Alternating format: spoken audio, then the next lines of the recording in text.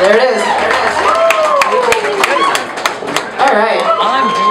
Well, this next song is for all the um, sad, not sad, I shouldn't say that. Is it sad? No.